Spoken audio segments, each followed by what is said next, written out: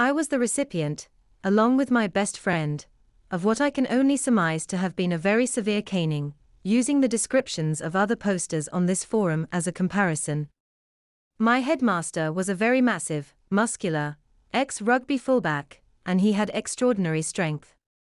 As in every caning that he administered, he delivered it using every ounce of that formidable power.